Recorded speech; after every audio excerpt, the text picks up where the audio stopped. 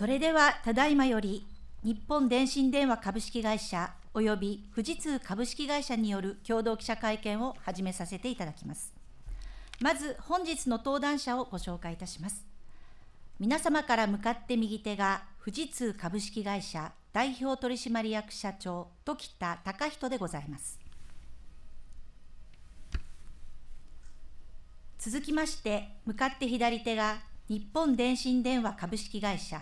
代表取締役社長社長執行役員澤田淳でございます。本日は両社長よりご説明させていただいた後ご質問はまとめてお受けいたします。それでは時田社長澤田社長よろしくお願いいたします。はい、えー、それでは NTT 富士通の両社が今回提携する狙いやえー、取り組み内容などを時田さんと私澤田の方からご説明をいたします、えー、最初に富士通と NTT が共有するビジョンについてお話しします。現在さまざまな社会や産業でのデジタルトランスフォーメーションが加速しております。またコロナウイルス感染拡大の中ソーシャルディスタンスの確保を前提とした分散型社会リモートワールドにシフトしつつあります。それらを支える ICT 基盤には人物バーチャル空間から生み出された膨大なデータをリアルタイムに処理する能力が求められています。一方で気候変動問題や格差の拡大など社会のさまざまな歪みが顕在化し続けています。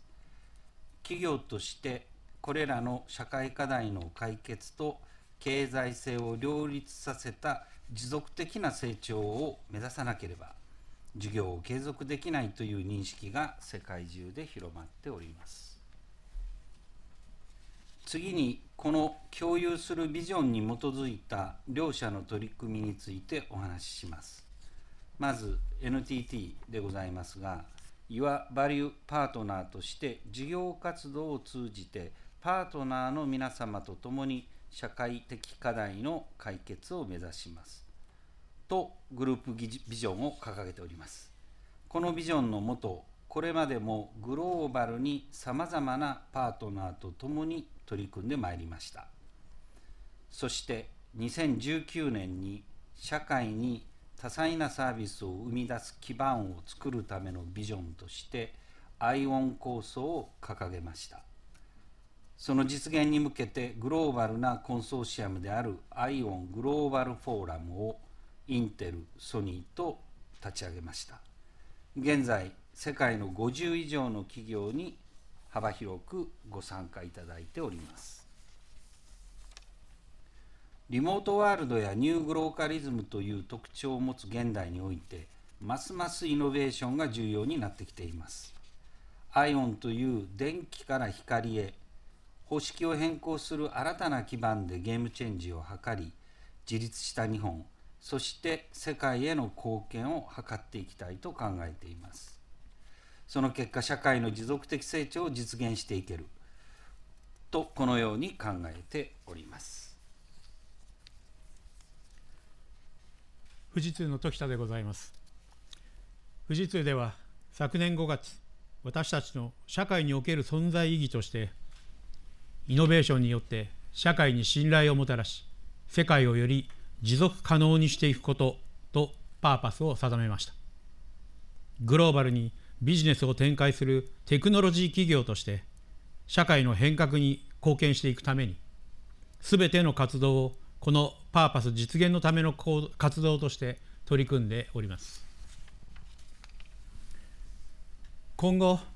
あらゆる分野のあらゆる現場で DX 化が進み異なる業種間やシステム間で流通するデータの価値がますます高まっていきます。持続可能な世界の実現に向けてグリーン社会の実現を目指しつつ一方で膨大なデータ量を究極のリアルタイムで処理していくためには社会インフラとしてのネットワークやコンピューティングの飛躍的な進化が不可欠です。そういった非連続のブレイクスルーを実現しグローバルにインパクトを与える先端テクノロジーを追求するためには同じビジョンを共有する NTT 様のような強力なパートナーとの強固な研究開発が最適な会であると考え澤田社長と今回の提携協議を進めてまいりました。それでは次に、えー、今回の協業の意義についてお話しいたします。NTT には世界有数の特許数を誇る光技術無線技術をはじめとした通信技術と運用ノウハウがあります。そして富士通は世界一のコンピューティング技術やさまざまなテクノロジーをインテグレーションする能力が強みです。このような両者の強みを生かせる分野において共同研究をまず進めます。そしてその研究成果を活用しグローバルでオープンなイノベーションを推進します。そしてそのイノベーションにより低エネルギーで高効率なデジタル社会を実現し両者で共有するビジョンの具現化を可能にしていくこのように考えております今回の提携で両者が取り組む3つの挑戦についてお話しします1つ目の挑戦はデバイスの革新です。アイオン構想実現のキー技術である光電融合製造技術を確立します。2つ目の挑戦は通信技術の革新です。1つ目の取り組みの成果である光電融合技術の活用を通して IOWN、Beyond 5G 時代に向けた通信技術の革新を目指す取り組みです。3つ目の挑戦はコンピューティングの革新です。具体的には光電融合技術を通信のみならずコンピューティングの領域へ拡大する取り組みです。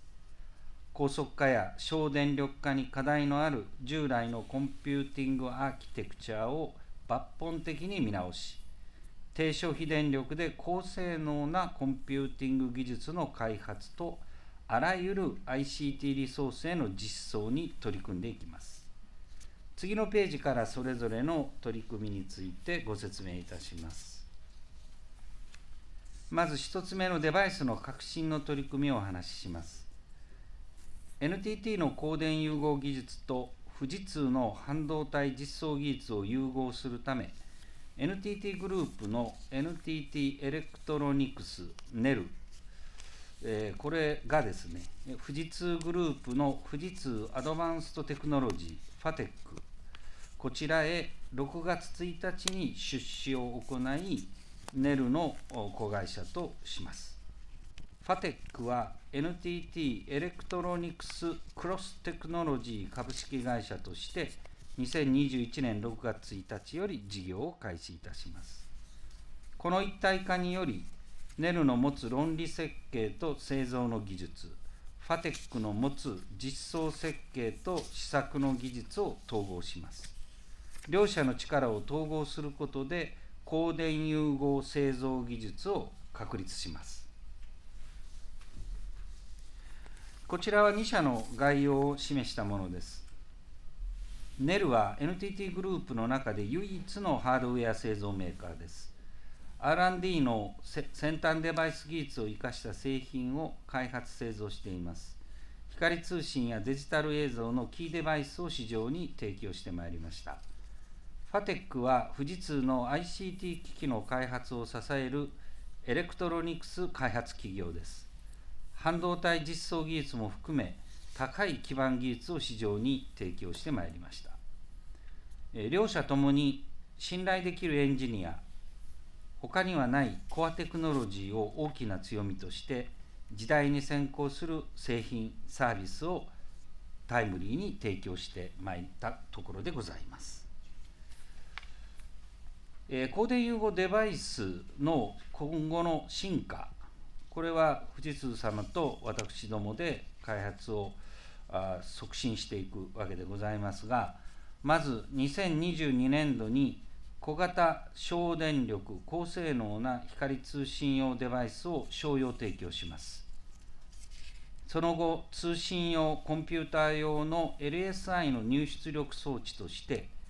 えー、光電子のコパッケージを導入します。2024年を目標にしております。その次のステップでは、チップ間の接続を光に変え、さらにその次のステップではチップ内のコア間通信に光を導入します。このように光電融合技術をコンピューティングなどの幅広い用途に拡大し、エネルギー効率の高い ICT を実現してまいります。続きまして2つ目の挑戦は通信技術の革新です。両者の数十年来の関係性の礎となっている通信技術についてグローバルに挑戦するためにもオープン化は大前提と考えています。先日発表されました NTT ドコモを中心とする 5G オープン LAN エコシステムの場を活用してモバイルの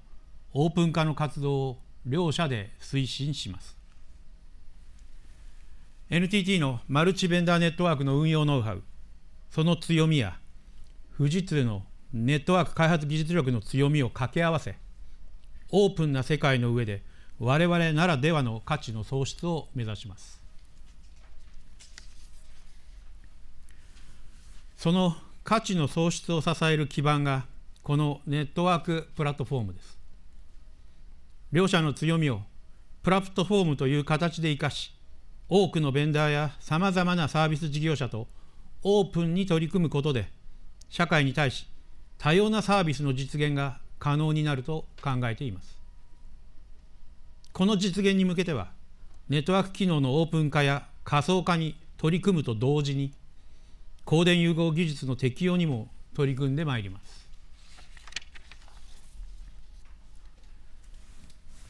今回の提携における一例として光電融合技術をモバイルネットワーク分野に適用する計画があります。5G の無線基地局向けに超高速で小型かつ省電力な光電融合デバイスとそのためのアーキテクチャを両社で共同開発します。これはその先の 6G の時代に向けての決定的に重要な取り組みとなります。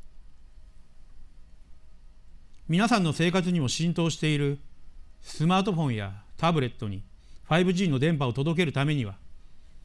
日本国内だけで28万台という数の無線基地局が設置される必要がありそのために膨大な電力を消費します。今後ますます高速でリアルタイムな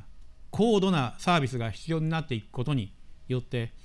そのインフラを動かすための消費電力を最小限に抑えることは社会全体の課題です。このテクノロジー変革を成功させ富士通の基地局だけでなく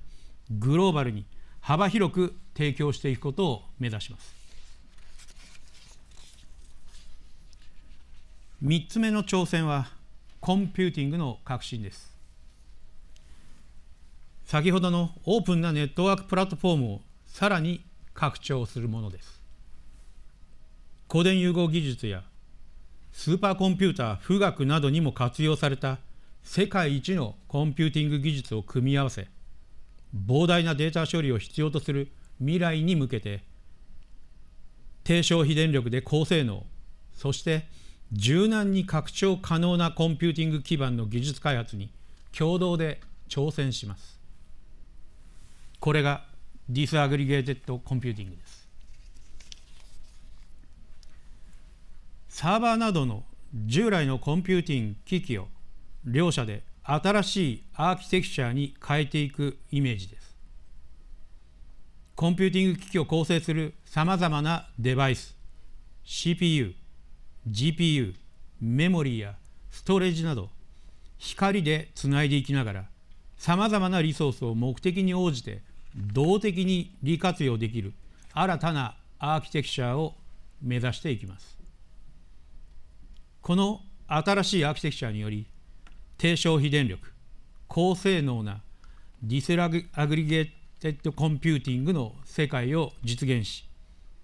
幅広い用途に広め